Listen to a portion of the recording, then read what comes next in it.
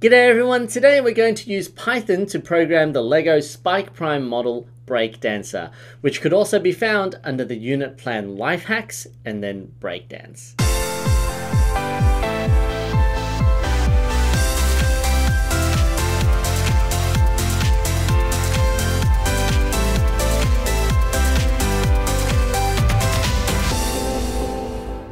Did you know that Python is used by companies like Google, NASA, and even Pixar? It is not just for beginners. It is a powerful tool used by professionals in web development, data science, automation, and of course, robotics.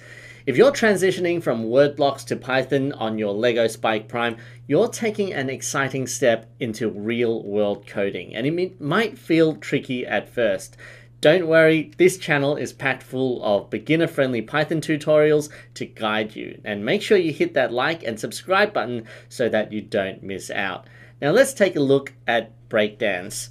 First of all, we go into our Spike software over here. You can access the Breakdance model by clicking on this build uh, instruction menu and then hitting Breakdancer. Or you can click on the unit plans and then you click on Life Hacks and then it's the first item in life hacks which is breakdance. Here you can watch the video with your class and then you press next and then you build the model using your spike prime kit. Make sure you build the left side first before you build the right hand side. Now I love this model because it's super expressive and students find some really cool ways to move this model around. Now if you have a look at this uh, these word block codes, it's really straightforward. So here we have um, uh, our motor F, which is the leg motors, and uh, it's being set to a speed of 80%. Then we go to shortest path to zero uh, on our absolute position. Then we wait for a second.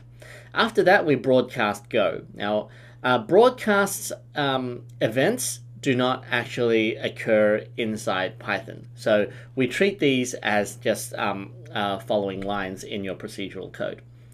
After you receive this event, we repeat 10 times where we are spinning motor F for one rotation at a time, and then we wait for a second between each rotation, and also we sync it up with some, uh, some numbers on the matrix. Okay, so that's what we're going to try and aim to do using our program. Click on the home button again, make sure you're out into the home area so that you can click on new project and then you click on Python and then we're going to call this one break dancer Python. Hit create so that this is our Python file. Alright, so how are we going to tackle this? We're going to, first of all, import all the things that we need. So we already have our light matrix. We also need to import port from our hub. And then we also need to import our motor from our libraries. It says to await light matrix high. We don't need that for this particular code. And I'm not going to delete code that I don't need straight away uh, unless I'm really um, uh, lacking space, uh, I wouldn't delete any code uh, that was working. I would comment it out. That way, if I need it again, I'll just uh, uncomment it. Okay. So here we're going to say await motor.run to absolute position. Um, you see how I don't have to type out all my code if I can see my code pop up in the um, autocomplete menu run to absolute position, and then as soon as you press the open brackets, open parentheses, it'll prompt you and tell you what other things you need to add. Okay, anything that doesn't have an equal sign afterwards has to be populated. So I need to populate port, uh, which is an integer. Then I have to input position and also velocity. But then inside the directions, uh, there's an equal to motor shortest path, so that's also already a default value. Uh, there's a default value for the brake mode, there's a default value for the acceleration, and the default value for the deceleration. So these things I don't need to populate, but the things that don't have an equal sign, I do need to populate. So port is just port.f. Uh, what else do I need? Position, uh, I need to run to position 0. And velocity, I'm going to make it 720 degrees per second. This should make it so that when I run the program, uh, the motor uh, moves to its zero position. Now, let's just triple check that that's the case. I'm going to show my model over here.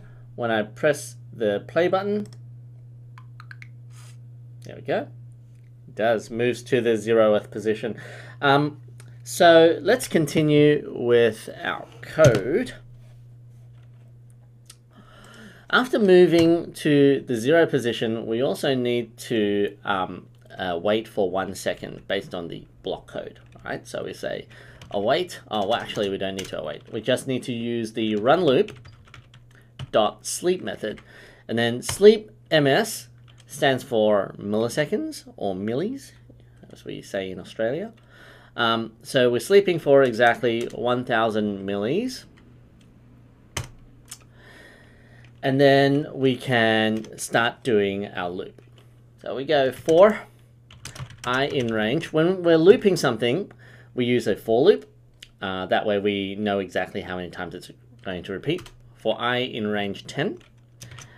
Now, how did I know how to write a for loop? Um, it's just basic Python. If you like you can uh, look through my member videos for basic Python classes uh, to learn all your basic syntax and also your uh, basic functions like writing loops, uh, for loops and while loops, uh, using lists and dictionaries. Uh, those are all in my Python basics classes. You can search them all up, but today I'm just going to um, to skim past and show you this code straight away. In range 10, that means we're going to repeat something 10 times. What are we repeating? We're going to say light matrix dot write. Oh, we're going to have to write a number, right? So we're going to write the number 1 to get started. And then we make sure that it's a string so that we are uh, writing to the hub. Um, and then we're going to say await motor dot run for degrees because it's running one rotation. So I'm going to say port F. Uh, degrees is 360, but it's going anti-clockwise. So I'm going to say minus 360. And the speed is 720 degrees per second. And we also wait for one second between each uh, each movement. So run loop dot sleep milliseconds 1000. All right. So that should make it so that I will um, run the motor for 10 rotations. Let's have a look of the robot three, four, five, six, eight, nine, ten. That works. All right. Uh, I'm kind of suspecting if the um, move to zero is working. I'll just double check that. Oh, it does work. So it goes to the zero absolute position first before it starts rotating 10 times. Okay, that's good. But uh, if you can see over here, I think it's a, uh, it's a little bit dark, but on my screen, here we go. On my screen, it only has the number one, but we should be counting in time with uh, the legs, uh, where it counts from one, two, three, one, two, three, one, two, three. So how can I do something like that in Python? I'm going to use a variable called a counter. And uh, that way, I'm going to be able to keep track of how many times I've counted, and then use a very simple logic block to reset so that when it goes uh, counts up to three, it goes back to one again uh, after that. Okay, so let's try that. Okay. Here we are. So here we're already writing the number one, but I don't want to write just the number one. I want to keep count using a variable. So count equals one right at the start, right? And then here, uh, I'm just going to say to print count. But then I need to increase it each time.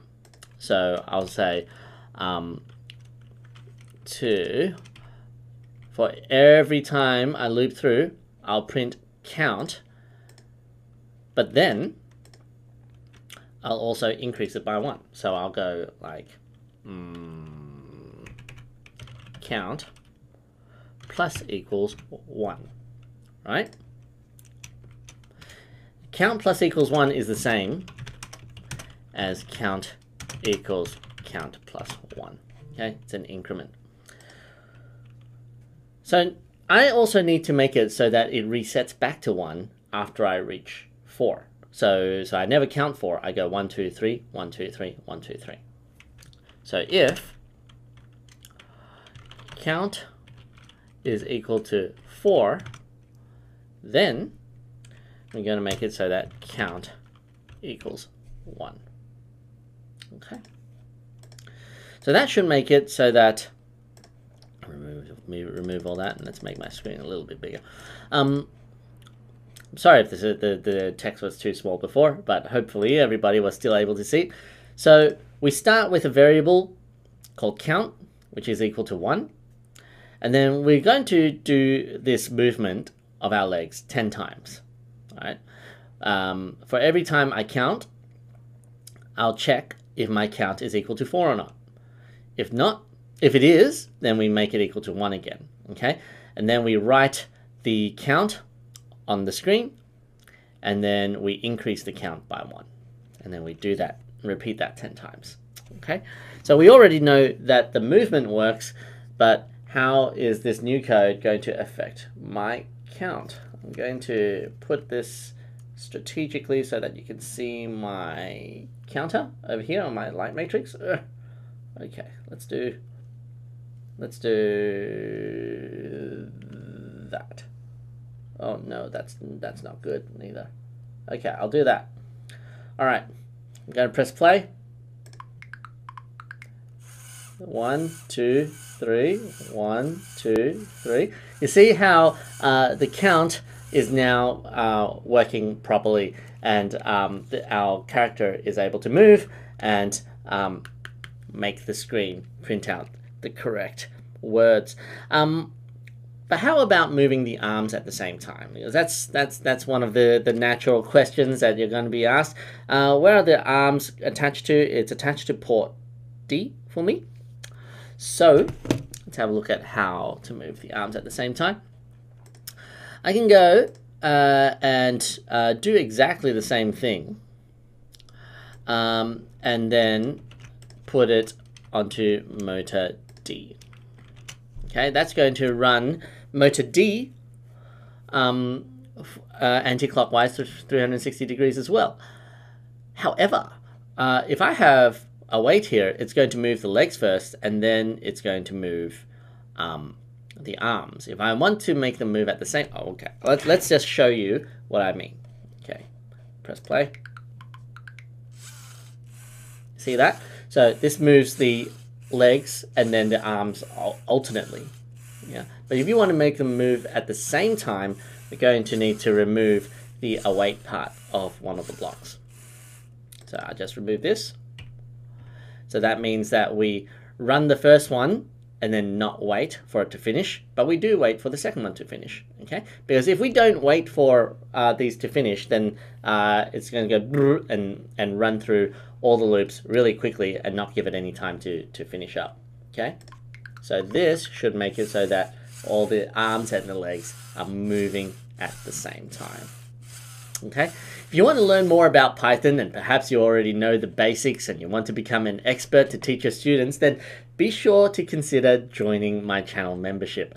For the price of a couple of coffees each month, you can get access to hundreds of hours of Python, C++, Scratch, and other coding lesson replays for advanced students. By becoming a member, you also directly help support my channel so that I can keep making more coding content. Become a member today by hitting the join button below. And that's it from me today. I'll hope to see you next time. Bye bye.